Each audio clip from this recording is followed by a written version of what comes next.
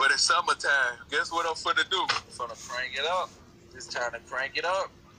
Crank it up. Y'all know I'm already killing this shit, so I'm just gonna crank up the notch, you know.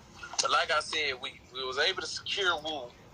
And this just happened right after I got off live earlier. I was telling y'all that we couldn't get Woo, free Woo.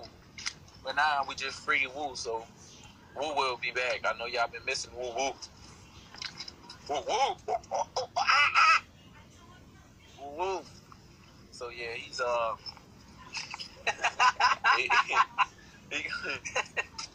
he's gonna come back. Woo nine. See, Woo is a different story. I know y'all probably saying, How you say 13 and Woo 9? see, Woo is a way total different story than than just adding kids, you know. He's short. He on the way. See, he on the way. Woo and route. You heard? Y'all gonna see Woo. Y'all gonna see Woo. Y'all gonna be like, oh, that's my Woo. Your blood clot on. You know, Woo was a good kid.